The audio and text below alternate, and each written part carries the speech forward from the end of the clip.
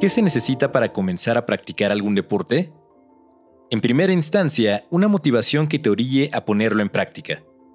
Y en términos orgánicos, lo que se necesita es una reserva de combustible también llamado requerimiento energético, de acuerdo con Maite Ambia y Aquiles Negrete. Este requerimiento está constituido por las calorías que tenemos en nuestro cuerpo y consumimos en nuestras comidas diarias.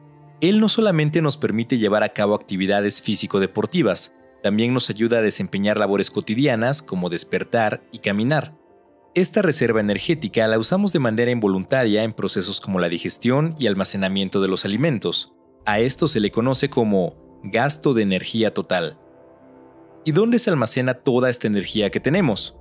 ¿En dónde radica nuestro poder? La energía nos rodea. La portamos en nuestro cuerpo en forma de grasa, carbohidratos y proteínas. A esta mezcla se le denomina adenosintrifosfato, o ATP, y es la energía inmediata que tenemos a disposición para practicar los distintos deportes.